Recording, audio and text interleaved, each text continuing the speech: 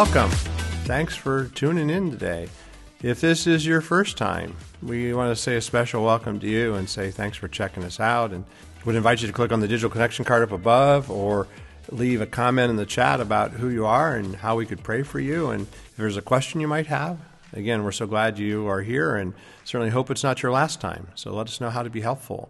And if this is your spiritual home, we say welcome to you and we're grateful too for your continued faithfulness of being part of our online experience. This is the third Sunday of Easter, and we are grateful for this season, right? As the springtime comes. Want to share, I had an opportunity uh, this week to visit with our friends at Heartfelt Radio. Uh, just leaning into a conversation. There's a link here in the worship notes, just talking about how do we just deal with this crazy season. Just if you think about the last week of all the things that have just happened, uh, the shootings and just all the tension. And so spent some time with Mark and Gabe looking at Psalm 16 and a few other things, just trying to put in perspective. I'm just wondering, you know, did, have we really learned anything from having experienced the global pandemic? The things that we should be thinking about, and really the idea fundamentally is connecting with God in a much deeper way. Uh, of realizing that uh, politics isn't our answer and economics is not our answer, but really Jesus is our answer. And so just hope you'll find some encouragement in our conversation there uh, from Friday morning. And then I also want to share that Matt Skolnick and I and a number of others from our presbytery made a road trip to the south side of Columbus. We visited with a ministry called the Community Development for All People. It's run by the United Methodist Church. But we wanted to just kick the tires and get a sense of how they're doing community missions in a whole new way. Uh, they have a church, but they also have a nonprofit. What's crazy is they own and operate $150 million worth of real estate for helping people with subsidized housing. This is such a beautiful thing. They have a bike shop, which really got my interest, uh, how they uh, offer bikes for people who need transportation. They bought an old drive through across the street that uh, is now a, a, fresh produce market, and each day they encourage people to start there before they do their regular shopping to find out what they've got. And as we walk through, you can see. But check out this video.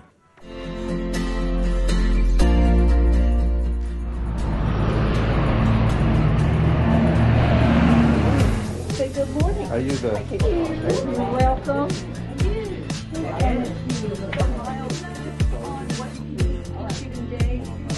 So you can imagine it's got three staff paid staff members and then the rest are volunteers.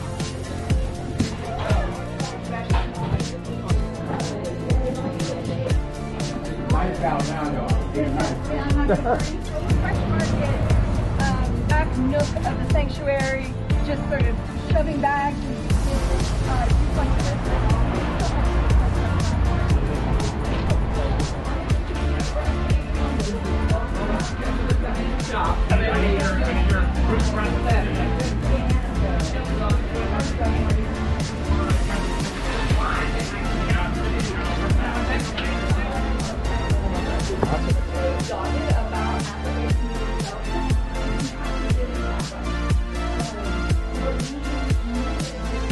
what you're talking about. Priest um, was.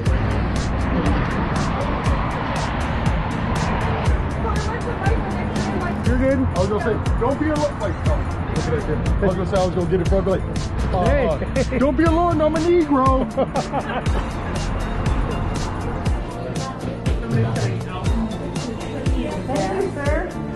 Enjoy your ride. Um, we have, as I mentioned to somebody, all people art. We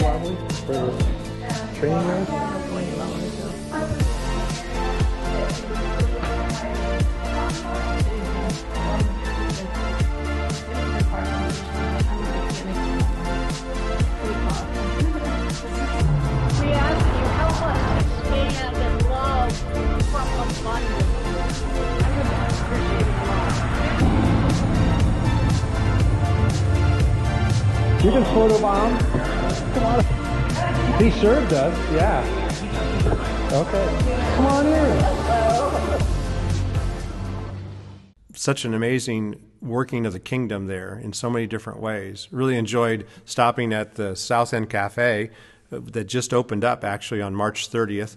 What they're going to be doing there is working with people for a second chance, those that have been incarcerated, to get them a job and teach them a skill and give them some real purpose in a whole new way. We visited there just to sort of prime the pump to think about in this next season of life.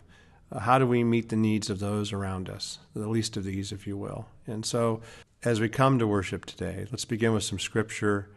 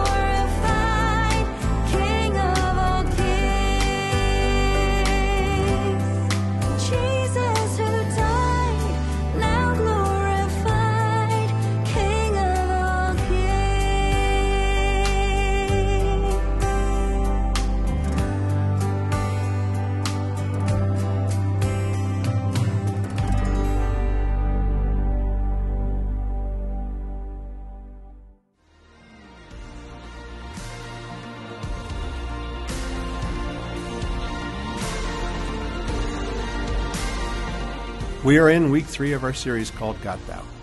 And we're just leaning into a deeper conversation because I think in so many different ways, even as I sat and talked with Mark and Gabe about just the things that have been going on, things that just continue to unsettle us, and then wrestle through just where do we find ourselves and really wondering what, what God is doing and what He's allowing, and just really what's the next thing coming uh, that we ought to be prepared for. I do know that many people find themselves doubting God, and I totally get that. And to be honest, in my own story, there are moments where I have to confess I've doubted God uh, on an occasional basis. But I think more often it isn't that I'm doubting God as much as I'm doubting myself and His call upon my life. Because I know when I think about myself, it's the me that you don't see that really is what I wrestle through. See, I know the voice that's in my head, and I'm glad that no one can hear that voice because sometimes it isn't the best. It brings about a sense of insecurity and it brings about all sorts of critical thoughts. And there's times where I really wrestle.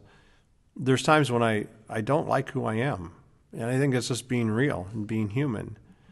And sometimes it's this simple thing where I don't like uh, what I said uh, but then other times it's like I don't like how I said it or what I did or maybe even what I didn't do. And then what's sobering in these moments, and probably is the worst of all, is that I know that God, He knows all my faults. And yet, what I also know is that He loves me and He sent Jesus to die for me, as He did for you. At the same time, I think if we're honest, we all wrestle with how can He, I can't even imagine how He can really use me for the kingdom with all my brokenness and all my uncertainties and all my insecurities. So, what I want to talk about this week is when we feel insecure or when we feel inadequate or when we feel insufficient. Because I think it's in those moments of insecurity that we begin to doubt who God is and who we are. Because we know that God specializes in using people who know that they are broken. God specializes in using people who think there isn't much they have to offer. Because the beauty of what he brings us through the Holy Spirit is his presence and his power that he equips us with to do his purpose. And yet, when we think about our insecurities, it's the thing that limits our ability to make a difference. The truth is, most of us, if we're honest and would be willing to talk with some sense of vulnerability, we will talk about our insecurity and our inadequacies if God wants something done, why would He use me? In fact, the scripture is filled with stories of men and women. There's got to be somebody way better than me uh, or way better than them to, to lead and to do and to, to bring the kingdom in such amazing ways. Now, because when we think about it, we think about our own limitations, right? Uh, what, maybe you don't know a lot about the Bible.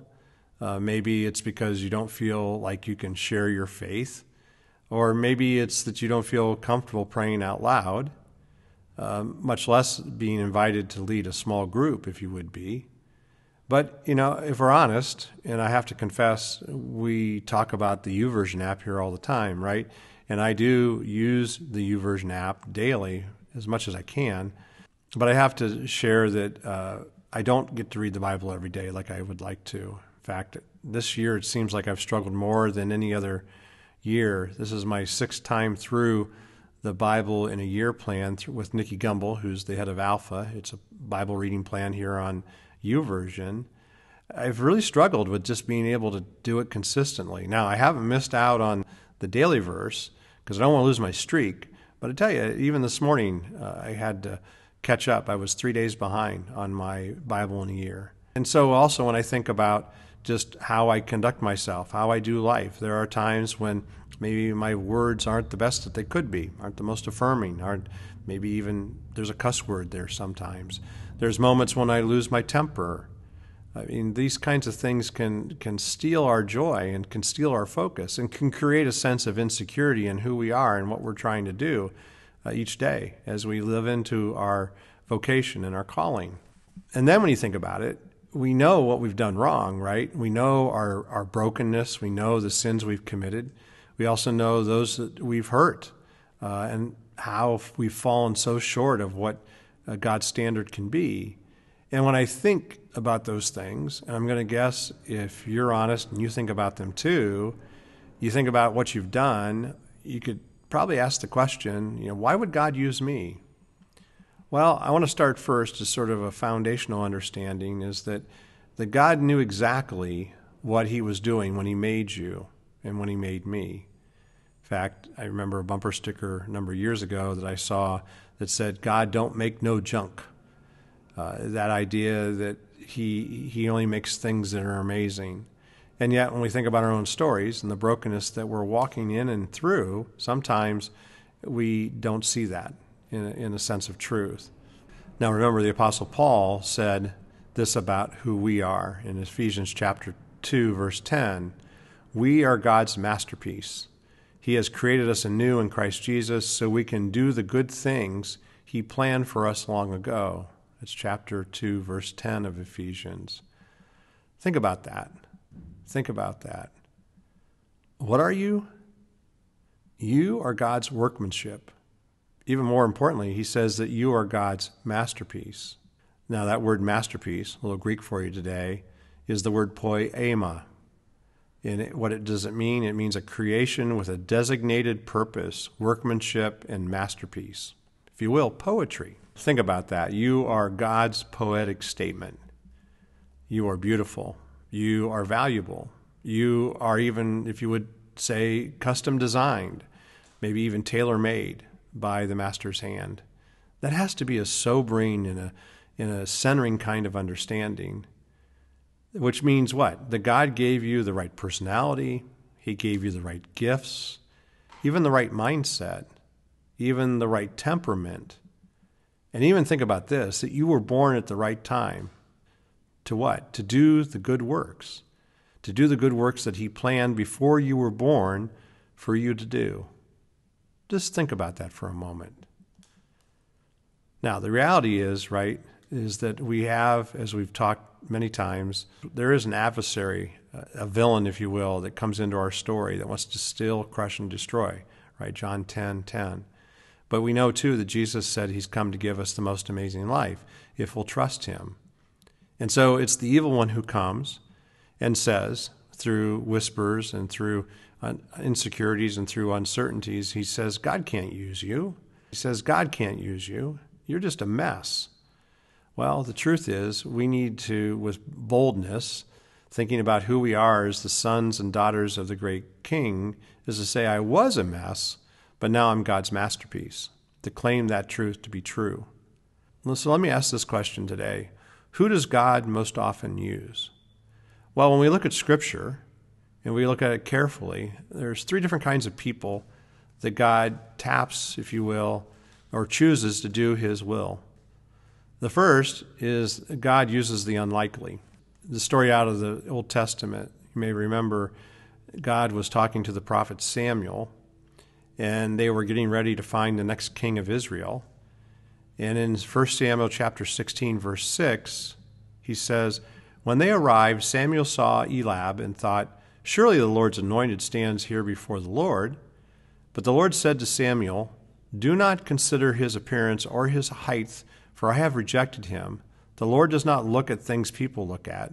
People look at the outward appearance, but the Lord looks at the heart. That's 1 Samuel chapter 16 verses 6 through 7. This is an incredible statement here, and I just love this because God is looking for the qualities people overlook, right? So it's interesting in this particular story, one by one, Samuel's looking at those that were called the qualified candidates, those would, that seemed to be the ones that God would be choosing. And he's about ready to give up, and he has a conversation with uh, Jesse, uh, the, the father that he's talking to. And Jesse says, Oh, you know, there is one more, but he's the youngest. You wouldn't want him. He's, in fact, he's out in the back 40 because he's a shepherd today. So he's working with the sheep. And what's beautiful here is that even though David was the youngest and probably the least likely, God said, That's the one I choose. Which helps us to just embrace this idea as we think about this, the unlikely, that God loves to use those who are overlooked by others. Now, I don't know about you, but uh, if you've ever felt overlooked, like God wouldn't use you, there's all sorts of people I could point you to, the people that I've met. In fact, even Wednesday, as we were in Columbus, uh, one of the ministries that uh, All People offers is a bike shop. And had a chance to meet uh, a couple of the people who worked there, but one person in particular stood out was a woman uh, she's retired, and her name is Nancy. And you can see here she was working on this the small bike for a child. And she said, "Well, I, I can't do bikesmith stuff.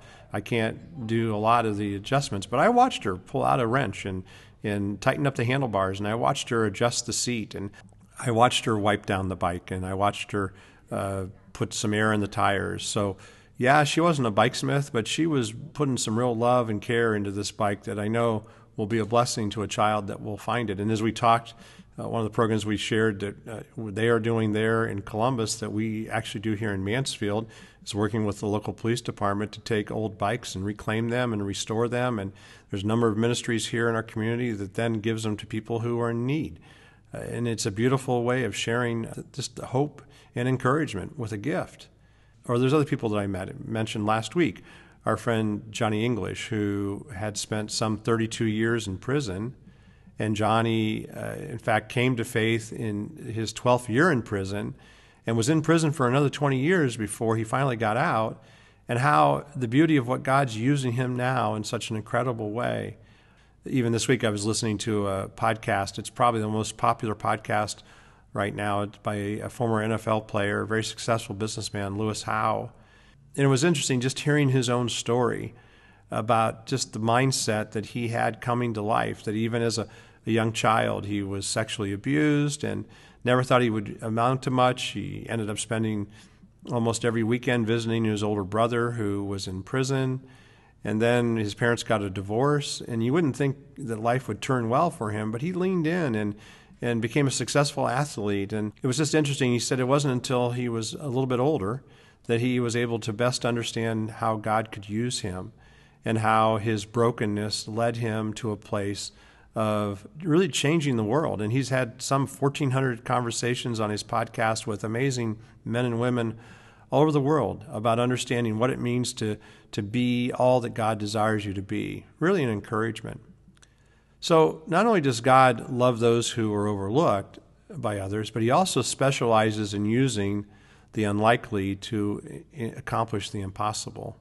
So I want to begin too with as a word of encouragement is to say stop believing what others say about you and believe what God says about you. So this idea of who God specializes in, well first of all he uses the unlikely, but then he also uses the insecure. Now, another story from scripture. You may remember in the book of Judges the Israelites have sinned and they're under God's judgment. And God gave them over into, a, into the hands of the enemy, the, the evil Midianites. And there was a guy that we meet here by the name of Gideon. And one of the things we know about Gideon, he was totally insecure. He was afraid and he was actually in hiding when we meet him. And an angel of the Lord shows up and says to him, The Lord is with you, Gideon. You are a mighty warrior. God has chosen you to rescue Israel from the Midianites. Well, you would think Gideon would be like, oh, cool. Well, if an angel of the Lord shows up and tells me I'm good, then I'm good. Well, that's exactly not what he did. In fact, his insecurities shouted louder than God's affirmation. Here in Judges chapter 6, verse 15, it says, But Lord, Gideon replied, How can I rescue Israel? My clan is the weakest in the whole tribe of Manasseh, and I am the least in my entire family. Well, here's the bottom line when we see these things that God is going to, He's going to call you and He's going to stir you and He's going to move you to do something. And, and so, what we need to see, whether it's here in the church or it's in your community, that there's a place where we're going to be invited to share our faith, to be able to share our witness and our testimony at work or at school. But what? We're going to say, but Lord, right? And we're going to tell Him why we're not the best person I got to tell you, even in my own story, I can remember as I enrolled in seminary, I can remember even before that, long before that. Somebody asked me recently when I uh, got my first call to ministry, and I have to be honest that I wrestled with it when I was a, a young teen. But I, I, wrestled through my inadequacies and my insecurities, thinking there's just no way I could do that. And then even when I got to seminary, I, it took me nine years as I was pursuing other work at the same time. But in that nine years, I intentionally avoided the teaching and the preaching because I didn't think I really had anything to offer. I intentionally took the classes that would help me be a better leader, but there was no way I was going to preach. And yet, it, I've learned so much in leaning into that and realizing that there is something that God wants me to say and to share. And I know for many of us, we struggle with the fact that we feel like we're, we're inadequate and that we don't have much to offer. But I think those are the things we have to push through. Those are the things we have to deal with in terms of embracing who God has wired us to be and to go back to that first understanding that we laid out here as Paul wanted us to see that we are God's workmanship, that we are his masterpiece. Now, we need to be reminded too that whenever God is going to call us, whenever he does engage us into ministry, that the evil one's going to do everything he can to frustrate us. He's going to try to stop us. One of the things that Satan does is he, the most basic way that he attacks us is he goes after our self worth, our self view, if you will, where he says, Who do you think you are? It's that head trash, I call it. He will say, You're not ready. You're not worthy. You're not even good enough. So I want you to think about this because I think we need to see clearly that if God didn't want to use you, the evil one wouldn't be fighting so hard against us, wouldn't be creating all this disconnect that's in our hearts and our heads. And the truth is, we may not have a lot of confidence in ourselves. That's a good place, actually. That's a good thing because our confidence shouldn't be in ourselves. Our confidence should be in God. Now, it's interesting, the word confidence comes from the Latin word confide, where the word con means with, and fide, we've heard that before, right? Faith, cona fide, which means having confidence or having faith. Now, it doesn't mean that you believe in you, but really what it does mean is that confidence is when we put our faith in what God says about you, right? Because we have Gideon who says, I am the least likely, Lord. But what Gideon was about to learn is that God often uses the least to do the most. So, again, as we think about this, the kinds of people God uses, He uses the unlikely, He uses the insecure, and He also, thirdly, here uses failures. Now, one of the most emotional stories in the Bible, we actually tapped on it on the end of the story last week when we talked about Peter when he met Jesus after the resurrection. But it was the first part of that story. You remember right after Jesus was arrested and he was taken before the high priest, it wasn't too long after that. Peter was actually there in the crowd. He sat down with some people by a fire, and a little girl pointed to him and said, Hey, this guy was with Jesus. And how did Peter respond? Well, here in verse 60 of Luke chapter 22, Peter replied, Man, I don't know what you're talking about. Just as he was speaking, the rooster crowed, and the Lord turned and looked straight at Peter. And then Peter remembered the word of the Lord had spoken to him Before the rooster crows today, you will disown me three times and he went outside and he whipped bitterly. I don't know about you, but when we see those stories, just like Peter failed, uh, I'm going to guess you've blown it big time. I know I have, if we're honest. There's been times in my life where I've embarrassed myself and others.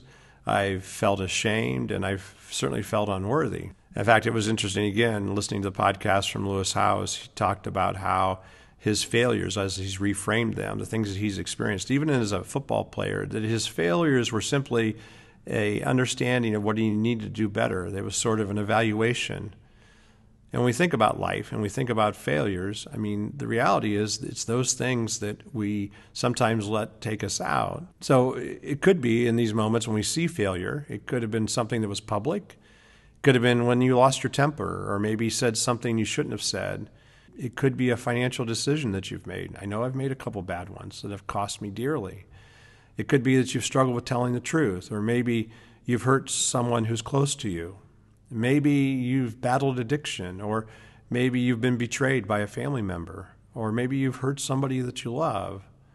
Or it could be even a private failure, right? It could be a secret addiction, something that you're struggling with.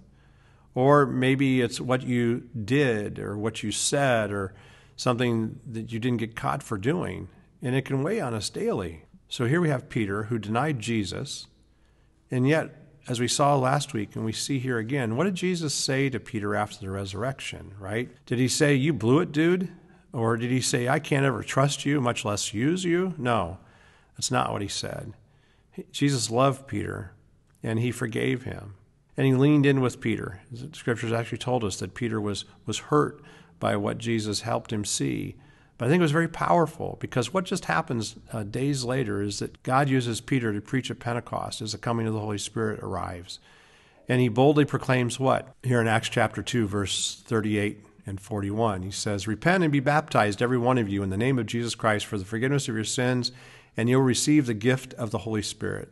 Those who accepted his message were baptized, and about 3,000 were added to their number that day. Wow, that's so amazing. You know, it's amazing in that story. You know, who better to preach about forgiveness than the one who was forgiven much, right? So I want us to see here the scriptures are full of people with insecurities and with doubt and people who fail. And yet, the reality is there aren't any other types around, right? I mean, the truth is we all have our excuses, but look at this list. Think about this Jacob was a cheater, right? Father of Israel. Uh, Moses was a murderer. Uh, David had an affair and was also a murderer. Jonah ran from God and ended up in the belly of a whale. Elijah, we know he was depressed wasn't quite sure what to do, even after God showed up in an amazing way. And we know Miriam was a gossip. We also know Martha, she was a worrier beyond measure. We know, too, as we've talked, Easter Sunday, we talked about Thomas. He was a doubter. And then when we think about Paul, who, as Saul, killed so many Christians. Now, the reality, when you look at this list, all these people and many, many more, God used them all. So God wants to use you. In fact, I want you to see that there's so many new things, and that's why we took the group last week to visit, just to see what a church is doing in an incredible way in a hard pressed community. Yet, yet the beauty of the kingdom that comes in that understanding. Because the reality is, it's about us serving.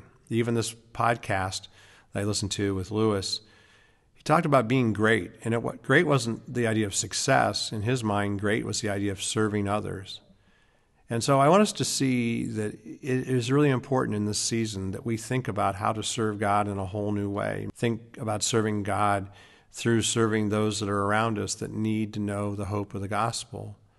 And maybe God's speaking to you now, and yet maybe you feel insecure, and maybe you feel like you really have nothing to offer, and maybe you feel like you've done something that keeps you from serving. Well, I just want to encourage you. The evil one's going to tell you that you're not worthy, and God will tell you that you are worthy, that because of what Christ has done for us, because of the power of the resurrection, what Jesus has accomplished on our behalf, you are, as a son and daughter, the righteousness of God, that you are an ambassador of the Most High, that you are God's workmanship, you are God's masterpiece. Paul reminds us that God has done the good work in you, that God has prepared that in advance for you to do. And so I want to encourage us in this season to stop doubting ourselves. And that to be reminded, too, is that when you do doubt, you are really doubting God. And we need to lean into the inheritance that He has for us because of what Christ has accomplished. So let me say it this way You are not what you did, you are not what they did to you. You are not what they said about you. You are not what you think about yourself. The reality is, in our doubts and in our insecurities, that's where God can meet us because then it's about our depending upon Him. And to be reminded simply that God can and will use you if you're willing. And so let's put our faith in Him. Let's, in the midst of our uncertainties and our insecurities, of trusting that He has rescued us for a purpose, not to just save us from hell, but to equip us to be the hands and feet of Jesus. Let's pray. Father, we're grateful for just all the good things that you continue to do. Jesus, thank you for rescuing us and restoring us. And in this season, equip us to do all that you desire for your kingdom, to bring it now. In your most blessed name we pray. Amen. Let's continue our worship through song.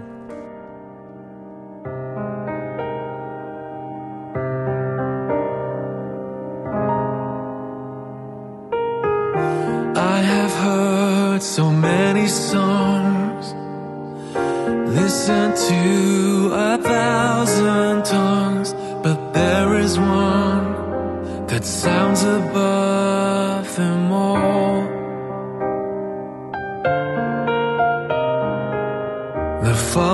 song the Father's love.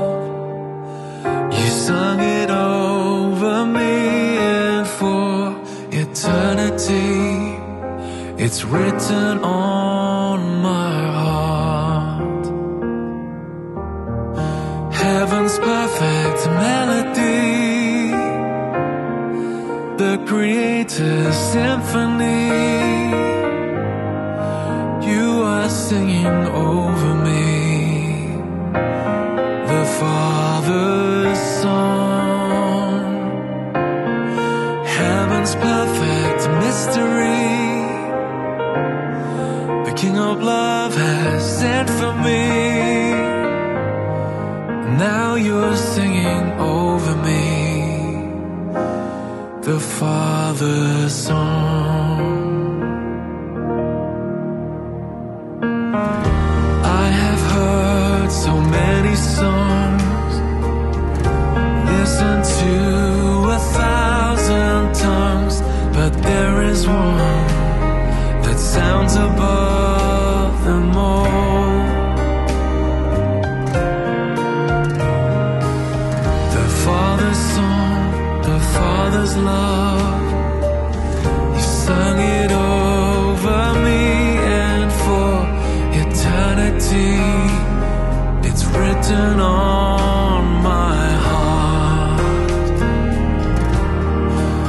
Heaven's perfect melody.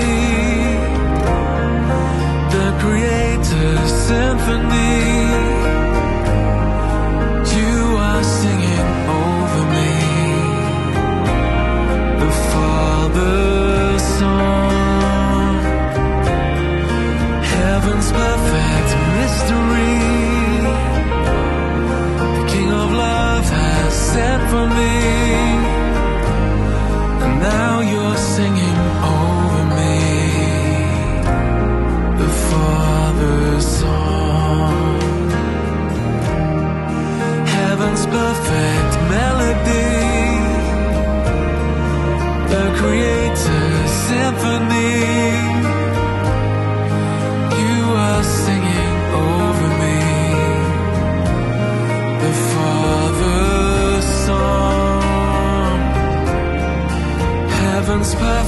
Perfect mystery.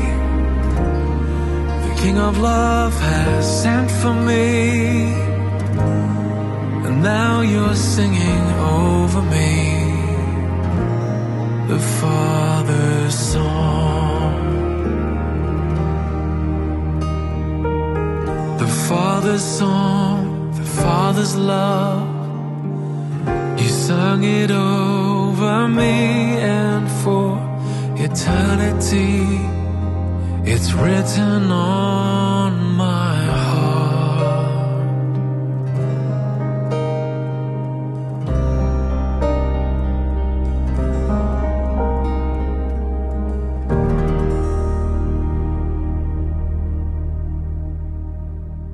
Again, thanks for being with us this week. So glad you tuned in. We've got a link here in the worship notes to uh, the ministry we went and spent some time at if you'd like to know more about that. And to be reminded, as we say, that you've been blessed to be a blessing. So go forth and serve the world in Christ's name. Amen. Have a great week.